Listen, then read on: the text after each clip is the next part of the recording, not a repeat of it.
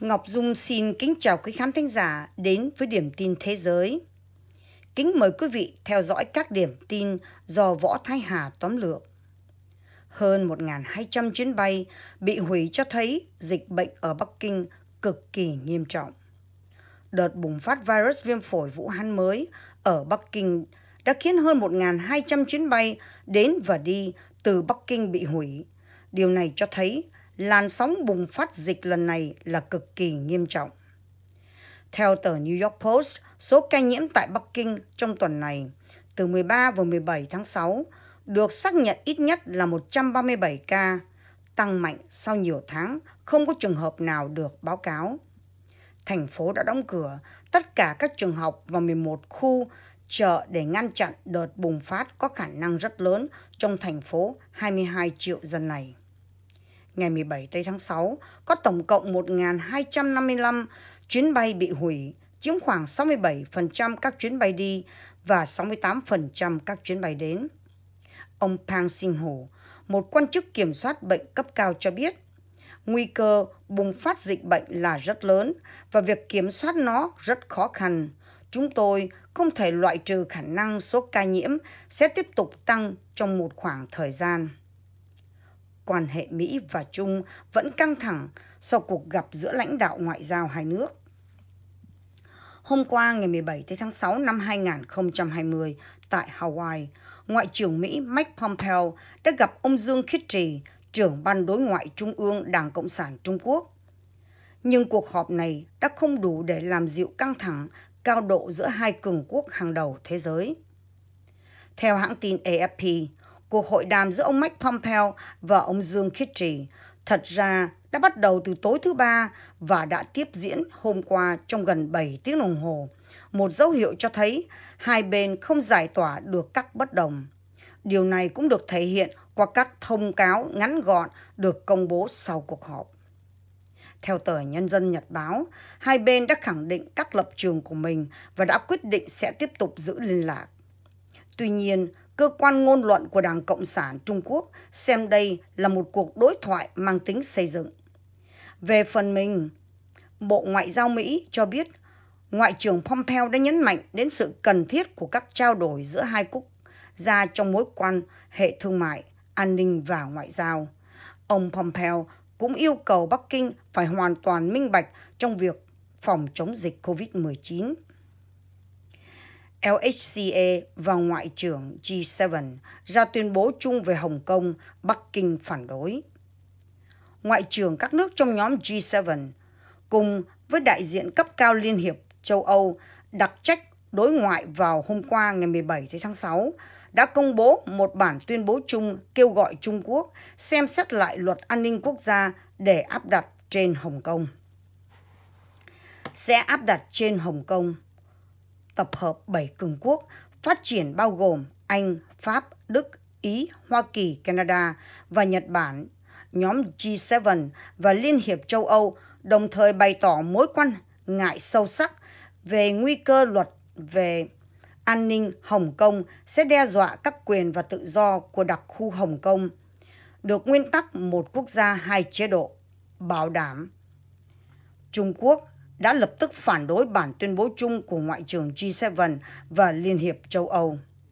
Theo Bộ Ngoại giao Trung Quốc, nhân cuộc tiếp xúc với Ngoại trưởng Mỹ Mike Pompeo tại Hawaii vào hôm nay, ông Dương Khiết Trì, Ủy ban Bộ Chính trị Đảng Cộng sản phụ trách lĩnh vực đối ngoại, đã kiên quyết phản đối việc Mỹ và G7 xen vào vấn đề Hồng Kông. Người Hồng Kông có thể bị dẫn độ theo luật an ninh mới – nếu người Hồng Kông vi phạm luật an ninh quốc gia, đặc biệt trong trường hợp có liên quan tới sự can thiệp của nước ngoài, thì có thể bị dẫn độ sang đại lục để xét xử. Tam Yu Trung, đại diện duy nhất cho người Hồng Kông tại Quốc hội Trung Quốc đề nghị, theo bản tin tối hôm thứ Tư của SCMP. Đề nghị của ông Yu Chung được phát triển từ ý kiến của ông Yang Yonghua, Phó Giám đốc Văn phòng Nội vụ Hồng Kông và Macau, ông John Hua quả quyết rằng Bắc Kinh có thể xử lý tội phạm ở các đặc khu trong những hoàn cảnh rất đặc biệt khi áp dụng luật an ninh quốc gia mới. Ông Yu Chung nói nếu Bắc Kinh thấy cần thiết rằng vụ án không nên để các tòa án Hồng Kông thụ lý thì dẫn độ có thể là một lựa chọn. Tổng thống Trump gia hạn lệnh trừng phạt Triều Tiên thêm một năm. Tổng thống Mỹ Donald Trump hôm thứ Tư, ngày 17 tháng 6, đã gia hạn các biện pháp trừng phạt Bắc Hàn thêm một năm, với lý do chính quyền Bình Nhưỡng tiếp tục gây ra mối đe dọa bất thường và nghiêm trọng, theo John Yonhap. Trong một thông báo gửi tới nghị viện, Tổng thống Trump cho biết ông tiếp tục duy trì tình trạng khẩn cấp quốc gia về vấn đề Triều Tiên được ban bố lần đầu vào ngày 26 tháng 6 năm 2008 theo sắc lệnh hành pháp 13466. Sắc lệnh 13466 cho phép Washington trừng phạt Triều Tiên liên quan đến chương trình hạt nhân và tên lửa đạn đạo của nước này. Theo quy định của luật pháp Mỹ, tình trạng khẩn cấp quốc gia về vấn đề Triều Tiên sẽ tự động chấm dứt nếu Tổng thống không gia hạn trong vòng 90 ngày trước ngày 26 tây tháng 6 hàng năm. Ông Moon họp với cựu quan chức về quan hệ liên triều. Hôm thứ Tư, Tổng thống Moon Jae-in đã thảo luận với các bộ trưởng thống nhất về những rắc rối nghiêm trọng đang diễn ra trong quan hệ liên triều. John Hap dẫn thông tin từ văn phòng Nhà Xanh. Trong cuộc họp kéo dài 2 giờ tại Nhà Xanh, ông Moon đã lắng nghe ý kiến của các cựu bộ trưởng về mối quan hệ giữa hai miền, theo Phó Phát ngôn viên Nhà Xanh Yoon Jae Kwan. Ông Yoon không tiết lộ chi tiết nội dung thảo luận khi Triều Tiên đang leo thang căng thẳng trên bán đảo với một loạt các đe dọa và khiêu khích, bao gồm việc phá hủy văn phòng liên lạc chung giữa hai miền ở thành phố biên giới Kaesong. Ông Pompeo đã gặp quan chức Trung Quốc tại Hawaii. Bộ Ngoại giao Mỹ hôm thứ Tư cho biết ông Mike Pompeo đã gặp ông Dương Khiết Trì, quan chức hàng đầu của chính quyền Trung Quốc tại Hawaii. Theo Reuters, hiện chưa có nhiều thông tin chi tiết về cuộc gặp này. Cuộc họp giữa ông Pompeo và ông Dương được cho là để làm dịu căng thẳng Mỹ và chung sau hàng loạt xung đột liên quan tới đại dịch viêm phổi Vũ Hán, các vấn đề về Hồng Kông và Đài Loan. Tuy nhiên, cùng ngày với cuộc họp này, Tổng thống Trump đã ký ban hành đạo luật trừng phạt các quan chức Trung Quốc có liên quan việc đàn áp người Duy Ngô Nhĩ ở Tân Cương.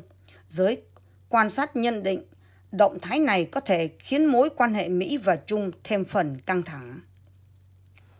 Lũ quét kinh hoàng ở Tứ Xuyên, có nơi bị san thành bình địa. Trong hai ngày qua, cả hai huyện Đan Ba và huyện Kim Xuyên thuộc châu tự trị dân tộc Tạng Cam Tư, tỉnh Tứ Xuyên đều xảy ra lũ quét. Nhiều ngôi nhà đã bị phá hủy, có nơi gần như đã bị san thành bình địa, gây thiệt hại to lớn về người và của. Theo báo cáo từ phương tiện truyền thông Trung Quốc, ngày 17 tháng 6, huyện Đan Ba thuộc châu tự trị dân tộc Tạng Cam Tư, tỉnh Tứ Xuyên, tuyên bố rằng vào lúc 3 giờ 20 sáng, một trận lũ quét phát sinh ở thị trấn Bán Phiến Môn, huyện Đan Ba, khiến con sông Tiểu Kim Xuyên bị chặn đứng, tạo nên hồ rào chắn, khiến đoạn đường G350 Lon Sui Wan trên quốc lộ bị gián đoạn, làng Aniang trên đường Lan Sui Wan xuất hiện sạt lở núi. Cho đến 6 giờ sáng cùng ngày, hồ rào chắn đã ảnh hưởng đến 6 thị trấn nhỏ, 17 ngôi làng, 4 trường học, 3 trung tâm y tế và 2 ngôi chùa ở Hạ Du. Hơn 5.800 người phải sơ tán. Theo thống kê sơ bộ, 15 người đã bị mắc kẹt, 8 người đã được giải cứu, 6 người vẫn bị mắc kẹt và một người đã mất tích. Sau đó, hồ rào chắn khiến bờ kè của con đập bị vỡ, nước sông đổ dồn xuống hạ du, đường sông gần làng Aniang ở hạ lưu đột ngột thay đổi. Lũ quét đã phá hủy toàn bộ nhà cửa và đường xá trong làng, Đêm đó, hơn 20.000 người buộc phải di tản, hai người mất tích. Mỹ đang xúc tiến cải cách WTO. Chính quyền Trump đã thúc đẩy việc cải tổ các quyết định về thuế đã lỗi thời, gây bất công với Hoa Kỳ của Tổ chức Thương mại Thế giới WTO, ông Robert Lighthizer, đại diện thương mại Mỹ cho biết hôm thứ Tư theo Reuters. Nhiều quốc gia có nền kinh tế lớn và phát triển nhận được mức ưu đãi thuế rất cao, vượt xa mức thuế mà Hoa Kỳ phải chịu.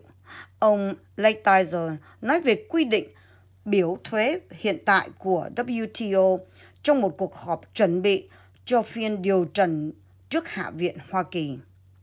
Phát biểu của ông Lighthizer đưa ra trong bối cảnh Tổng Giám đốc hiện tại của WTO là ông Robert Azevedo sẽ mãn nhiệm vào tháng 8 tới đây.